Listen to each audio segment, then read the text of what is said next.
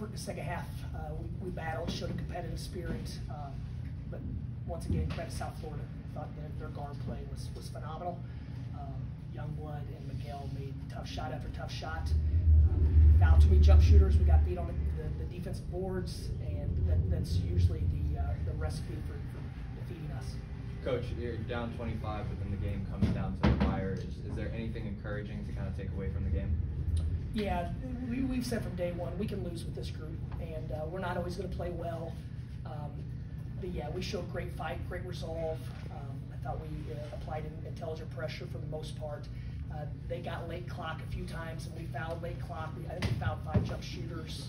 Um, and then we let Miguel get downhill to his right hand a couple times late clock. I wish we had those possessions back. But overall, I thought our guys uh, they, they play with more force. I thought Vlad was extremely physical in the paint, which opens up something uh, something unique for us. And uh, we settled in and, and uh, found the right rotations in the second. I thought that Brenen Lorient brought a lot of great energy and, and uh, enthusiasm to the game. And uh, you know, it was a heck of a college basketball game. I, I wish we had five more minutes. Hey, Coach, how did you feel uh, playing on national TV on ESPN against an upstart opponent like USF? I mean, they came into this game with a 10-game winning streak, so you were playing a hot team on national TV. This is really great for the conference, alone for both teams. Yeah, this game is great for college basketball, great for our league, the state of Florida. Um, but, but as far as who we're playing, we, we've been on, I think we've been on national television 12 to 15 times already this year. Um, and, and, and, so that that's not it. I just think this is a is going to end up being a really healthy rivalry. Um, I have a lot of respect for their program, their players, their staff.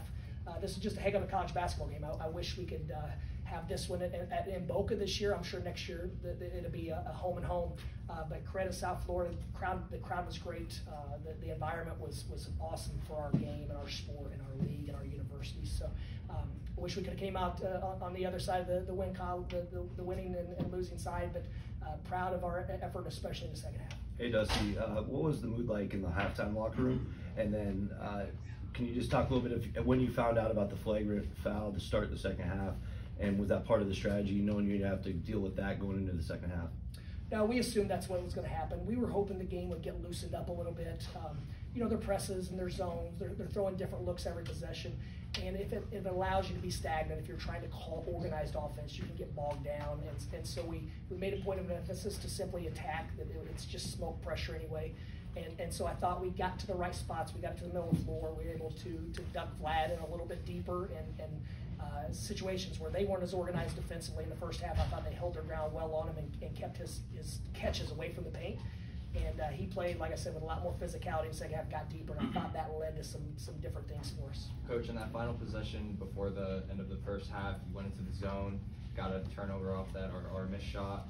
Um, and you were switching everything, which it seems like they were trying to take advantage of those switches. Was was there anything that you felt like they could you could have done to, to kind of stop their shots from falling, or was it just a luck of the draw for them? Uh, no, there was no luck involved. I mean, I thought Miguel was was going off the bounce at 25 feet. I thought we moved up into a space and forced him to drive it, and he, punished us in, in, in that uh, in the paint late in the game. Uh, but I thought Youngblood shots. You know, we had a, a couple scouting report blunders that um, teams know how to attack switching, and, and we know how they're going to try to attack us, and so it comes down to execution. But his ability to sit down in space at about 25 feet is really, really and and you could talk about it and you could show it, but until you realize how deep he shoots and and, and that's the, you know there's a reason uh, he is what he is as efficient as he is and mature and, and uh, you know guys like that have a, an imprint on teams and uh, man he, he's a special basketball player he, he's a he's. Dusty, let's talk about the play of Victor Goldin in the second half. You know, the second half seemed to really ignite him. He was really into it, get drawing fouls and all the energy. Obviously, did your team feed off of what he was doing? You guys were down by a lot, and all of a sudden, you guys kept hanging around. Yeah, I, I, don't know if, if he fed off them, he, who fed off who, but we found, like I said, he, he found his, I thought the first 10 or 15 games of this season, he scored really, really well before the catch. For some reason, it, his, it, down with his physicality of the game or what, he's, he's gradually moved away from the basket and away from the basket and hasn't been nearly as effective. So for a half, it was really nice to see him back dominating around the hoop using his gifts, and, uh, and our guys were, were certainly confident in getting him the ball.